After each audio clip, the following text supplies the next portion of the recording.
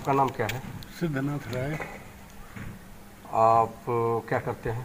हम वकालत करते हैं। जी। वकील साहब क्या आप समस्या है जो आज के गाँव में जो है चारों तरफ़ से ये आज बाढ़ की स्थिति लगी हुई है? आज ये समस्या नई पिछले साल से पैदा की गई है। पहले ये समस्या नहीं थी। पहले पुरानी बस्ती का पानी उधर रहता था और नई बस्ती का पानी इधर रहता था। लेकिन पिछले वर्ष यहाँ के प्रधान ने वोट की राजनीति के चलते कम से कम तीन चार फीट गहरा हम्म, विद्यालय के दक्षिण तरफ़ मतलब मंदिर के पास यहाँ के लोगों को इकट्ठा करके और अपना वोट सेट करने के लिए यहाँ पानी इस आबादी में लेके गिरा दिया। आप लोग इसका विरोध नहीं किया? हम लोग विरोध किए। लेकिन अब हम लोग लोकतांत्रिक तरीके से विरोध किए और वो लोग उजड़ हैं। जेसीबी लेके आ गए रात में दस बजे आ गए एक सभ्य आदमी रात में दस बजे कोई विरोध नहीं कर सकता। है सिस्टमेटिक ढंग से ही कह सकता है कि भाई ऐसा न करो। लेकिन वो लोग जेसीबी से सारा रास्ते काट के और लेके पानी इधर गिराती है। एक चीज़ और है वकील साहब तो इसकी शिकायत आप किसी अधिकारी के यहाँ की है? अधिकारी के यहाँ भी पिछले वर्ष किया गया था लेकिन कोई प्रभाव इसका नहीं कोई से किसी ने कोई नोटिस ही नहीं लिया। फिर आप लोग रहते कैसे हैं? फिर हम लोग ऐसे ही जी रहे हैं जैसे आप देख रहे हैं पानी भरा हुआ है घुटने भर पानी रास्तों पर लगा हुआ है और रास्ता भी खराब हो रहा है। तो इसका आपने कभी इस बार जो है बारिश से जो आप ये गाँव मोहल्ला डूबा हुआ है इसकी शिकायत इस समय वर्तमान में आप डीएम साहब क्या हैं कि नहीं? नहीं डीएम साहब के यहाँ शिकायत किया गया। हम्म, क्या डीएम साहब इस पर कोई आवश्यक कार्रवाई के लिए उन्होंने कहा कि देखिए तो पूरे ज़िले की समस्या है। आप ही के यहाँ की नहीं है। और कोई कार्रवाई नहीं हुई टाल मटोल वाली। और यहाँ के प्रधान को कोई जल्द समस्या से मतलब नहीं है। हम्म, आज छह सात दिनों से समस्या यहाँ है। एक बार भी नहीं आया है। नहीं तो प्रधान को वहाँ जब वो सड़क नहीं काटी गई थी तो आप लोगों की तरफ़ पानी नहीं आ रहा था। नहीं आ रहा था। लेकिन उन्होंने प्रधान ने जो है गुंडई के बल पे जो है पानी काट करके आपको डुबाने का काम किया हैं। एकदम पूरे हमको ही नहीं पूरे इस आबादी को डुबा रहे हैं पूरे नई बस्ती को। पूरे नई बस्ती को जो है डुबा रहे हैं। कि बीसों लोगों का घर में से निकल रहा घुटने भर पानी पार कर क्रॉस करके। अच्छा। ठीक है चलते हैं आगे देखते हैं लोगों से पूछते हैं। और समस्या का इसका समाधान। आज यहाँ ग्राम हाँ। निधरिया में जल से- जलमग्न मकानों में रहने पर लोगों को मजबूरी है। आज प्रधान द्वारा जो है ज़बरदस्ती रास्ता काट करके जो है घुमा दिया गया है। इसकी शिकायत जो है उच्च अधिकारी है लेकिन अब तक किसी अधिकारी का यहाँ जो है समाधान समस्या को सुलझाने के लिए अब तक कोई अधिकारी मौके पर नहीं आए।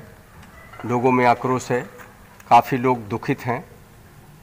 और मैं आगे भी चलता हूँ और फिर आगे की समस्या के बारे में देख के बता रहा हूँ। यादव जी क्या करते हैं? आप? गिरहती करते हैं। अच्छा। आ, ये कौन सा ग्राम सभा है? निधरिया ग्राम सभा है। यहाँ प्रधान कौन है? पिंकू पांडे। पांडे जी। आज जो आप लोग पानी से डूबे हुए हैं इस पानी का निकास कहीं नहीं है। कहीं नहीं है। इसका निकास पानी कहीं है ही नहीं है। सुनने में आ रहा है कि प्रधान द्वारा जो है पानी काट करके जो आप लोगों को डुबा दी गई है ये नई आबादी बनी है। हाँ, इस पर क्या कहना चाहते हैं आप? आप लोग हम क्या करें? आप अब पानी उधर से आ रहा है इधर कहीं जाने का जगह नहीं है। ना ना मैंने आपसे सवाल किया कि यह पानी जो है प्रधान द्वारा काट करके नई बस्ती में डुबा दी गई है। हाँ। इस पर क्या कहना चाहते हैं आप? अब इसको निकास चाहिए पानी को। प्रधान ने पानी काट करके अच्छा काम किया है कि बुरा काम किया है? नहीं अच्छा तो, तो काम नहीं किया है। मैं ये आपसे जानना चाह रहा हूँ कि प्रधान ने जो एक बस्ती को डुबाने का जो काम किए हैं इस पर मैं आपसे जानना चाह रहा हूँ कि आप क्या करना चाहेंगे ना ना अच्छा काम तो नहीं किए हैं पानी काट करके। आप लोगों ने पूछा नहीं प्रधान से? नहीं हम लोग तो नहीं पूछा। अच्छा।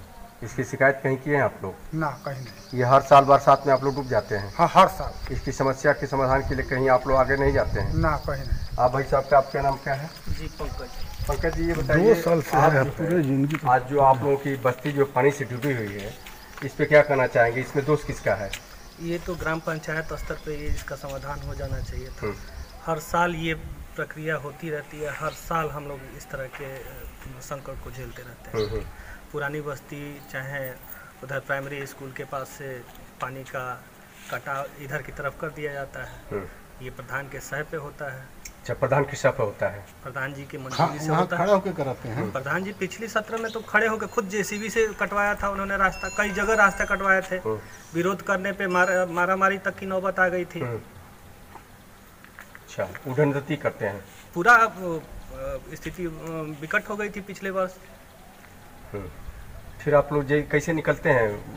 जैसे तैसे करके निकलते हैं कोशिश करते हैं कम से कम बाहर निकले। अच्छा अच्छा।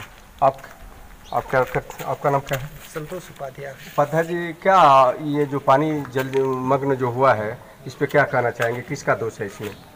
इसमें तो मान लीजिए प्रधानी जी का अथी है। अच्छा। प्रधान जी जो है आप लोगों के साथ दबंगई इस, इस मोहल्ले के साथ दबंगई करके जो आप लोगों को डुबाने का काम कर रहे हैं।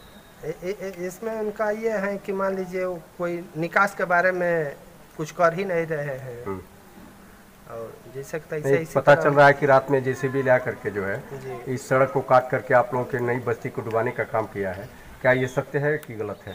नहीं नहीं ये सत्य है। पिछले बार का हुआ है ऐसे और पिछले बार का जो रास्ता काटा गया है उस समय भी उसी तरह पड़ा है तो उसी में से पानी आ जा रहा है।